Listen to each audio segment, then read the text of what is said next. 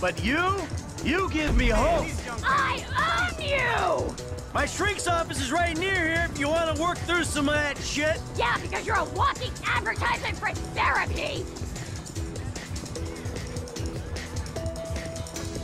Oh, don't touch me!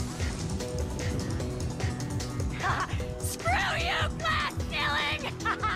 Men suck! I rule!